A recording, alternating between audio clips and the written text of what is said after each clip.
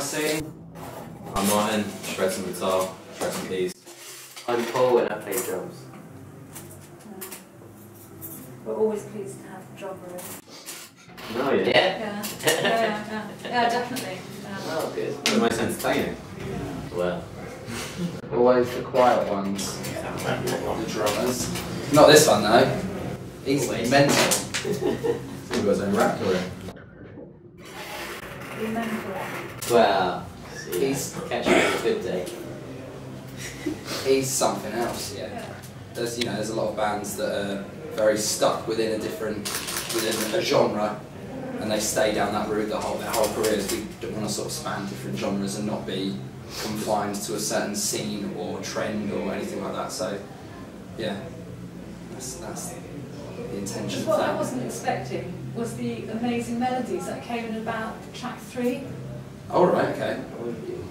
What was Snakes. Snakes. No, we did that second. That's that? It second. wasn't, I don't think it was second, I think I noticed it on the third track. Yeah, yeah. Okay, I'm trying, I can't remember because we literally. JC Who? It might have been the JC. Was it like have like a jazz bit at the beginning with Yeah, saxophone? Melodic Mm. Yeah. Yeah, I think it must It have must- been. yeah, it it must must have been the third song. Yeah, JC Who was on our record. And, and then there were uh, then the it's like the wacky elements were really clear in the set as well. Oh, cool. Oh, cool. That's Yeah, I good. wasn't Yeah, it's good to hear. yeah. Yeah. Yeah, that's good. So you think He's bonkers. bonkers? That's a bit like wacky. Is Yeah. bonkers like wacky or not? But they're in the same ballpark, definitely. Aren't they? Yeah. So Same squash ball. Uh, is anyone else in the band bonkers? I think we're all a little bit. We've all in our got our own little um, things. Uh, we're all slightly weird and have our own little things that make us strange. No, we're not. Not we're intentional. Not just- intentional. It's just We're just There we some, some weird individuals. we're just weird individuals that have weird little things. But we're not. We don't go around bragging that we're. You know, we're not like a Big Brother contestant. I'm promoting crazy me. I'm crazy. Why do you want to be on Big Brother? I'm absolutely mental. Wait till you see why. me in the Wait house. until you see me in the house. So I will random. blow your mind. Yeah.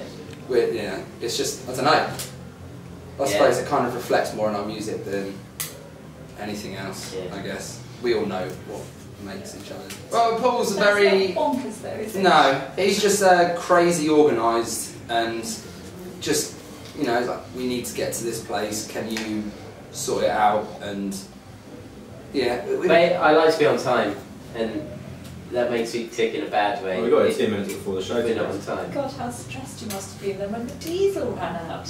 Well, yeah, yeah. We were just. Oh, obviously no. we could, we had we had the sat nav on the right with like the time how many miles we had left to get here, and then we had the dial on our van Yeah. saying how much fuel we had left, and it was like this. It was on not- zero. It was on zero for about two miles, and it the like- engine was like cutting yeah, out. you could hear the engine sort of last little drips of fuel or just gas, like. And we kind of rolled it into the petrol station, then we went too far past the petrol bar and we had to push it back. Oh, that's like a carry on. Yeah, it was. It was. It was pretty ridiculous, and then, but that's just that's sometimes just how it works for us. We're just Yeah. we're just we just played with stuff like that happening to us, but we uh, always seem to cope quite well with it. You were very clean. Washing his Yeah, hands. yeah, I have, yeah. I have to think about. You got your watching- elastic band on? I haven't got my elastic band. No. I watched the. Let's see your tattoo. Where else have you got tattoos? You have got an elastic band. Well, it's just a little. Jack's got a lot of tattoos. I've got a Have few tattoos, Where yeah. else have you got them then? I'm trying to work out how this plays into this OCD thing. Oh no! Oh no! It comes into play when once I've got tattoos and I'm looking at it thinking that's not how it should be. and Things like that. I've just, I've just, yeah, I've just got a bit of an OCD thing, and uh, yeah, but uh, it's, it's got better recently. I don't think there's anything wrong with OCD. Loads No. of musicians have OCD. Yeah, no, it's, it doesn't, it doesn't Strange, like, isn't it? It yeah, doesn't affect anyone else. no, it's, No. yeah, it's more sort of me and what. Do you don't- mind? No, I don't mind. No. It's, it's like it's plagued my family. Like my my dad and his brother, they're super crazy OCD. Like my dad's brother, he like he'll before he goes to bed, he'll go around and check that all the lights are off, even if they are off. He'll like he'll stand by the front door and he'll shake the door to make sure that it's locked, and he'll stand there for five minutes doing it just to make sure, Yeah. and things like that. So, yeah, I think I, it's been passed down to me, which is uh, quite frustrating. But there's, well, maybe there's a flip side to it. Yeah, well, it makes me, when it comes to music, I'm always sort of, I suppose, like when I'm trying to write vocals or lyrics Yeah. or something, I'm always trying to make it as best as I can, Yeah. like in an OCD sort of way, I guess. Yeah. So yeah, it has got its flip side. It's not only that. What we know quite a few really talented musicians with OCD. Yeah. No, not just averagely talented, super talented. Yeah, yeah, And their talent is well, the OCD is just a byproduct of their talent. And I think, Yeah, I yeah. fair deal. yeah, yeah. yeah, that's a good deal. Yeah, definitely, Yeah. I think most musicians as well, in that way, of like a great obsession, usually have like a element of like Asperger's or kind of that kind of thing to do with their personality, which makes them obsess over their, their craft. how it is. 'Cause the thing is, we don't actually see each other that much outside from being in the band 'cause we all live in different parts of like the south coast. Like me and Paul are from Ashford, uh, Martin's from Hastings, the other two are from Eastbourne. They see each other more than what we see Yeah. them.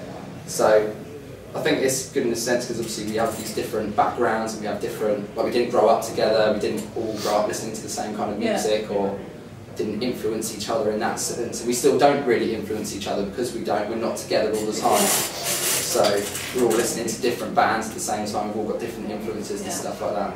Um, Yeah, I think I think that brings a lot to the overall Yeah. sound. Um, the So it's a good combination. Set. And that's definitely what, what we're hearing then. yeah, And it's what we're seeing when you're on, on stage as well. yeah, definitely. Because that, that tolerance, and that's got to be a good thing. Because if you've got all these individualities coming in, and you've also got you've obviously got the talent, Mm. then you'll just continue to do that. Yeah, we, yeah, we Which is so. good. Yeah, yeah, yeah, yeah, Yeah, definitely. Yeah.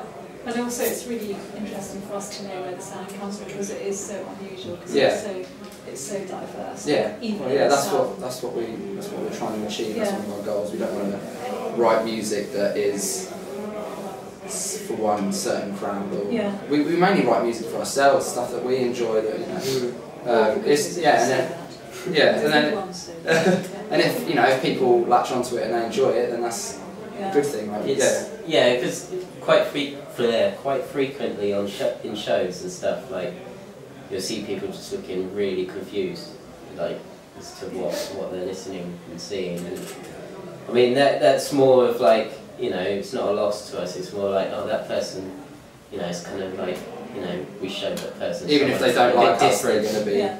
going away thinking that band were fucking weird. Yeah. You get that. Yeah, Um, yeah. So if people don't get it, it's fair enough. But like, you know, at least they've seen something a bit different. You know, Yeah. and that's all really. That's what we'd be happy with. But also, it's like early days for you guys as well, isn't it? Yeah, well, Yeah. We've, been, we've been a band for a long time, like, Yeah. been, but it's only started to sort of take shape in the last sort of two years. Um, we just got back from tour with Enter Shikari in Europe, and Wow. uh, that was big for us, like playing on bigger stages than what we used to, playing, you know, going out and playing to a thousand kids and getting used to having four monitors in front of you and a massive barrier and stuff like that. So it's going in the direction we wanted to, Yeah. like our hard work is starting to pay off. Listen, I really wish you good luck. Thank you very much. Yeah, Cheers. And can you keep us informed of gigs and stuff because we definitely want to keep Yeah. watching you. Yeah, definitely. Are you guys based in Southampton? Uh, yeah, we are. We go. We do a lot. Of, we go all over. We really do. And we spend a lot of time in London, especially at the moment. And basically, you're listed artists. You're on our site. This is going to get you on our site. Okay, that cool. means you've got something serious to do.